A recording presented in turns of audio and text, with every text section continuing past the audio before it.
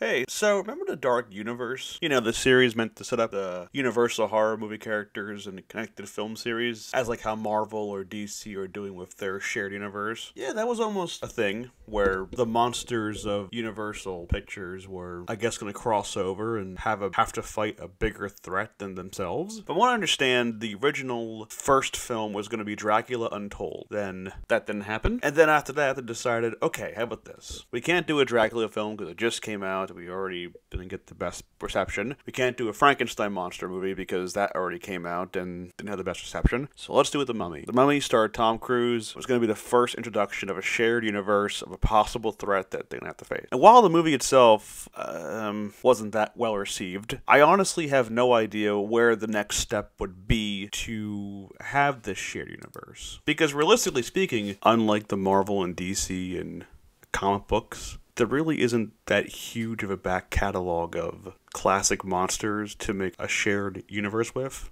what I'm assuming what would happen would be they would either have to establish the previous monster characters, which is the Frankenstein monster, Dracula. I think even the creature from Black Lagoon had a, an appearance in it. And the Mummy was meant to set up this whole universe of possibility where it can go. And Russell Crowe was going to play Dr. Jekyll. I guess he'd be this version's Nick Fury, where he sets up all the events that happen and the fact there are other monsters in the world. And I guess in some ways, I guess Tom Cruise is now the next Tony Stark. But then again, after The Mummy came out, uh, didn't get the best reception, and uh, all plans were canceled. Now, here comes the, the idea that a cinematic universe of the monster characters is a good idea. One of my earliest introductions of even seeing a possible crossover of the monster universes even predates Freddy vs. Jason, was Abbott and Costello Meet Frankenstein. A full on comedy, just here's the monsters of the Wolfman, Dracula, and the Frankenstein monster all in, under one roof. And while, yes, there is the House of Frankenstein and House of Dracula and Frankenstein meets the Wolfman, the one that comes to my mind all the time is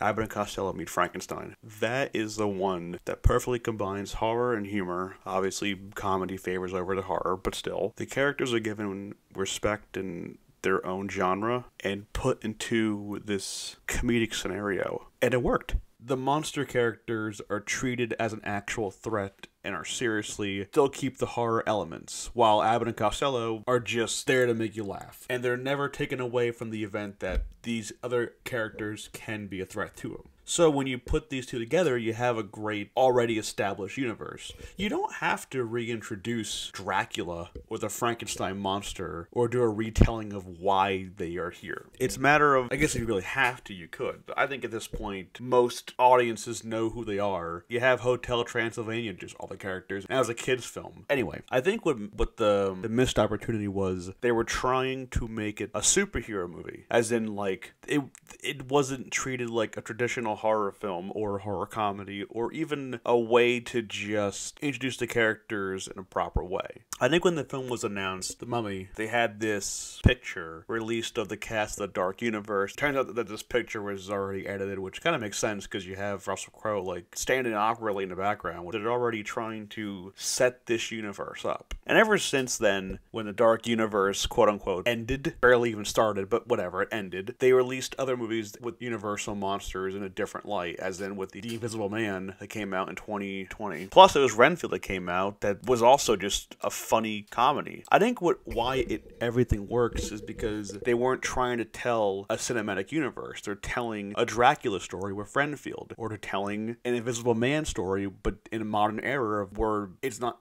without spoiling the whole film. It's told in a more modern setting. I think we face this problem a lot nowadays, where everyone wants to establish 15 sequels before even the first film comes out. Honestly, just make The Mummy Part 4 with Brendan Fraser. We all want to see it. We'll go watch it.